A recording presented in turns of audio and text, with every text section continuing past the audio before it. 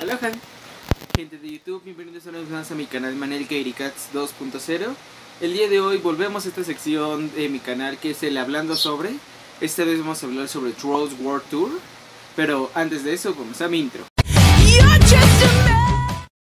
Y antes de empezar esta, esta sección de mi canal que es el Hablando sobre, eh, quiero aclarar que es, voy, a, eh, voy a estar hablando pero sobre la versión en español de Trolls 2 que para cabe aclarar como por marzo más o menos vi la película pero la vi en inglés y el doblaje estuvo bien eh, bueno pero como la vi antes de hecho del estreno eh, porque Got a secret, can you keep it? Swear this one you save, better lock it. No, eh, ay, ya me trabé. Así la vi antes de su estreno y pues por eso mismo no podía hablar, de hecho hasta ahorita es como la fecha en la que estoy pudiendo hablar sobre esto, uh, sobre la película principalmente. O sea, esta película me encantó más no poder, o sea, la he visto como tres veces en inglés, eh, quién sabe cuántas veces la he visto en español y en francés creo que la vi una y media más o menos, o sea, una, la película completa y vi la mitad. Y o sea, voy a hablar principalmente del doblaje en español, ya que el de inglés y el de francés sí me pareció bien, a lo cual el punto malo que estaría tomando en el doblaje de español no lo tomaría en esos. Pero bueno, primero empecemos con qué trata la película. La película, como sabemos, es una secuela de Trolls 2, de Trolls 2, de Trolls 1, que habla sobre principalmente sobre cómo se extiende el mundo troll y cómo hay más tipos de troll, así que nos enfocan como los trolls que ya conocíamos son un tipo de troll, que son los trolls del pop Así que igual de otra manera existen los, trolls del rock, los trolls del funky, los trolls de la música clásica y los trolls de la música electrónica. De esos se crearon hace muchísimos años seis cuerdas, una para cada género musical, donde cada cuerda le daba como que ese tipo de música a ese tipo de trolls. Y todo era una armonía y todo eso. Eh, se me olvidó, antes de seguir diciéndoles la película, este video contiene muchos spoilers por si no han visto Trolls 2 o si quieren arriesgar, sigan viendo este video. Pero bueno, seguimos. Así, ah, y cada una de esas cuerdas hacía como ese tipo de melodías diferentes que era lo que le daba la personalidad a cada uno de los trolls. Y después de eso, el, el troll del pop eh, quiso tomar todas las cuerdas para crear una misma armonía y que todo eh, toda la música fuera pop eh, de ahí se empezaron a discutir las músicas, las cuerdas, todo eso, y cada quien se dividió y fue por su parte, a lo cual se dividieron en terrenos diferentes, eh, desconociendo o conociendo sobre esta historia, que por lo visto, eh, según pudimos ver, solo los del pop, que era la reina Poppy, no sabían sobre esto, y ya la reina Bart quería repetir la historia, o sea, quería que solo reinara el rock eh, pero en vez de como que adueñarse de todas las cuerdas y solo tocar rock, quería convertir a todos los líderes y todos los roles en, rock zombies. Y a lo cual pues empezó a ir como a cada uno de los lugares a robar las cuerdas. Para eso Poppy lo malentendió todo y pensó que era una super fiesta para crear una armonía. Entonces, eh, Poppy va con, bueno, va con Ramón, Biggie y Mr. Dingle. perdón, con Ramón, Poppy, va Poppy, Ramón, Grandulón y el señor Peluche. Es que, perdón, me acostumbré más a Billy y Sordingo. Pero bueno, ese es punto. Así van, quieren como que ir recorriendo todas las partes en su globo aerostático para evitar esto, ya que se enteran de esto al ir primero con los de la música clásica, de que ya llegan ahí, ven la devastación y Tina Flautina les sé que es un nombre raro, pero Tina Flautina les dice lo que pasó y todo eso, y sobre la música, y cómo llegaron y sirvieron y se llevaron a todos. A lo cual Poppy pues ya le cae el 20 de, oye, esto no es una fiesta, nos están destruyendo. A lo cual va después con los del country para advertirles todo eso y hoy juntemos fuerzas, todo eso vamos contra Bart. Y ya de ahí surge, digamos, la aventura y todo eso, ya van a derrotar a Bart y al final de la película pues se crea que es una armonía, ahora sí sin cuerdas para evitar otro riesgo futuro, sino que demostrándonos que la música vive en nuestro corazón y que no solo tenemos que escuchar un tipo de música, a lo cual es un mensaje súper bonito, ya que, bueno, hablando en experiencia propia, yo cuando era niño era como de, ¿te gusta este género musical? Este género musical tienes que escuchar y no te puede gustar otro, no puedes hablar de otros y la persona que escucha otro género musical está mal y te tiene que caer mal. Al menos así fue un poquito mi infancia eh, a lo cual este mensaje, si lo hubiera escuchado en ese entonces, me hubiera parecido, wow, o sea, la mega revelación. Y me pareció muy bonito ya que no dudo que haya niños en ese entonces que estén viviendo esta misma situación y este mensaje es como pues una buena solución. Aparte de que, bueno, estuvo muy buena la película, la verdad. Ahora vamos a, por lo que esta sección es odiada y a la vez amada. Los puntos malos y los puntos buenos. Empecemos con los malos. Y como les mencioné, este va a ser sobre el doblaje en español. El primer punto malo, la voz de Ramón, o sea, ¡ah! vi la película, vi la serie, vi la segunda película y en la primera película el, la voz de Ramón estuvo bien porque fue la primera vez que nos lo presentaron, así que fue como que, ok, esta es su voz. En la serie fue otra voz, pero siento que quedó muchísimo mejor en el personaje, que de hecho la voz de Cooper, de Diggy, de Diamantino, se, usaron las voces de la serie para la segunda película y quedaron perfectas, excepto Ramón, usaron otra voz que no le queda para nada al personaje. O sea, sí, no digo que cante mal el actor o que no eh, sepa como que demostrar eso con la voz, esos sentimientos, lo que Ramón quiere dar, solo que siento que no iba con el personaje, ni siquiera se compara como con la versión inglés-francés, que los las voces sí se parecen, eh, pero en español no fue así, sí se nota la diferencia, y es bastante la diferencia, lo cual ese lo tomaría como un punto en contra, pero bueno, de ahí en fuera otro punto en contra. Eh, la trama siento que fue muy corta, o sea, dura una hora 30 minutos si no más me equivoco. Y siento que se pudieron extender un poquito más para abarcar más sobre las culturas de los trolls y cómo fue esto de la dominación y todo eso, explicándonos más sobre la armonía, aunque en cierto punto también lo andaba pensando, eso es como un contra pro, de que si le hubieran extendido más, pudieron haber metido más relleno y vuelto la trama un poco aburrida. Pero bueno, otra cosa que también lo veo en contra fueron como los subgéneros como K-pop, reggaeton, los Jordan, ya que esos no son parte de las cuerdas principales.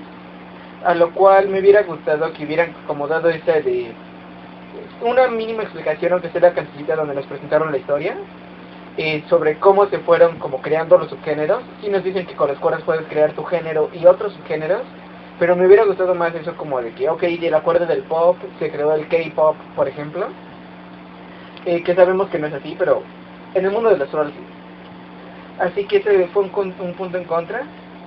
Y otro punto en contra, el canon. Este, o sea, en la mayoría respetaron el canon, inclusive el de la serie. O sea, puedes ver la película, la 1, el especial de Navidad, en la serie y la segunda película y se mantiene el canon no es como otras que la serie te queda como de oye ¿y esto dónde pasó? ¿qué onda? esto no está pasando y ahora está pasando la película ¿no? pero sí rompen el canon con Piernanda si no me equivoco con Piernanda con el troll de edificio y creo que de ahí en fuera ya bueno y con uno que otro detalle de Villa Troll y el mapa y todo eso pero eso si quieren después hablaré después más específicamente sobre el Patrol y todo eso. Eh, ya que sí rompen ese canon nada más con estos dos personajes, ya que nunca nos dicen de dónde aparecieron ni dónde, se supone que solo eran como de la villa, pero nunca los vimos ni en la primera película ni en la serie, o sea, mínimo con que hubieran dicho al inicio de la película, ah, ya regresaron de su viaje, eh, sí, eh, nos fuimos lejos, ahora si, si hubiera arreglado el canon y todo hubiera sido perfecto, solo son esos pequeños detalles insignificantes. Y otro, pero este sí es personal, nunca pusieron a Katy Perry, cuando fueron a la villa del country, dijeron que iban a tocar las músicas más icónicas del pop, eh, Pop y Ramón y Biggie, y, o sea, les faltó Katy Perry, o sea, digo, ella es, o es medio, se está haciendo, fue, es un revoltijo eso, la reina del pop, la princesa, pero luego no, y luego sí, ustedes entenderán. Y entonces, pues mínimo lo habían mencionado. Digo, de ahí fuera todas las canciones, Gangnam Style, eh, Wannabe, si no más me equivoco se llama, y Full Let the Dogs eh, sí son canciones icónicas del pop, de hecho sí lo reconozco. Eh, solo hubiera cambiado una canción antes de la de Gangnam Style, no sé ni cómo se llama. Y bueno, eh, con la... También vi que varias personas no entendieron esa canción, no, o sea, fue un momento súper corto, pero como que no la identificaron, a lo mejor no fue su parte icónica. O sea, digo, y en esa parte pudieron poner perfectamente Fireworks, Así nada más, por aquí les voy a dejar el pequeño clip, como hubiera sido a mi gusto que hubieran puesto Fireworks. Pero bueno, y estoy hablando de los puntos en contra. De los puntos a favor, la trama fue, fue nueva. Eh, según la crítica de Robert Tomato, porque ya, hay crítica, eh, la trama fue más de lo mismo, pero yo siento personalmente que no, ya que simplemente sí fue un poco más de lo y otra vez nos presentan el mundo y que hay que ser diferentes y adaptar las diferencias y que todo está bien. Pues sí, pero en cierto punto nos están presentando el mundo troll. Con la primera película Novato y ahora nos presentan más variedad de trolls, así que es como un, sí, un, ya se nos vio en otras películas, pero esta vez justificado. Algo así como con lo de los pitufos y la aldea perdida, algo así más o menos que de hecho también tengo una super teoría de cómo se unen todas las películas DreamWorks, pero bueno, seguimos. Y ese fue un punto, un punto a favor. También la música, tanto de electrónica como de rock, la clásica, todos fueron piezas icónicas, excepto como lo que yo les mencionaba anteriormente sobre la de pop. Al igual que tuvieron nuevas canciones y también esas adaptaciones como la de George Just Wanna Have Fun que era la adaptación de Girl Just Wanna Have Fun. Eh, también fue una buena adaptación, que ese toque como característico de los trolls, que le dan ahí su caracterización y quedó súper bien, de hecho. Los efectos visuales son muy buenos, la trama, eh, eso de las seis cuerdas, que sí, que no. O sea, una trama un poquito más compleja, pero no tanto. Ese fue su punto bueno, principalmente. Y, de hecho, déjenme les muestro algo. Esto ya como parando mi crítica. Eh, de hecho también iba a ir a la premiere de Trolls 2, pero por lo que sabemos por lo del coronavirus, no. De hecho Trolls 2 sí se va a estrenar en México o en partes de Latinoamérica, pero hasta septiembre. Eh, como les menciono, yo la vi desde muchísimo antes de su estreno, incluso en, Estados Unidos. Eh, ya la vi en español, ¿cómo se llama? La vi en francés, la vi en inglés. De hecho la vi un montón de veces. Y también iba a ir a la premiere, de hecho. Eh, pero bueno, por cuestiones no fui ya, o sea, me hubiera costado un montón ir, pero pues no.